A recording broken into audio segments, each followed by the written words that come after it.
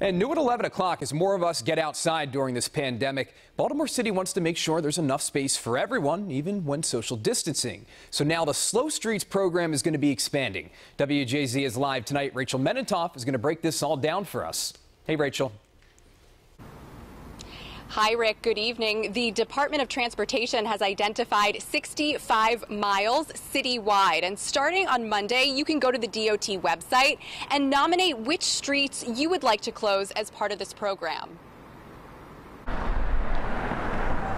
Over the next two weeks, you may see more signs like these road closed, local traffic only. The barricades on select city streets are intended to cut down on traffic, providing safer streets for physically distanced walking, running, and biking. Yeah, the more measures you can take to keep people safe is, is the most important in my view. The city tells WJZ it's launched successful pilot programs in Druid Hill Park, Lake Montebello, and Patterson Park, and says this model can be replicated in other parts of the city. The idea behind closing streets like East Pratt near Patterson Park is to give people more space to social distance. But some people who live in the area say this program hasn't had its desired effect. The people are going to come through whether the gates are here or they're not there. Holly Crum, whose family has lived in Patterson Park for 20 years, says she's noticed cars easily ignore the signage and says her street is already a really narrow one. We have one way going up and one way going down. I'm a little shocked by that, to be honest, uh, just because, you know, we got the park right here and that allows us to social distance pretty well.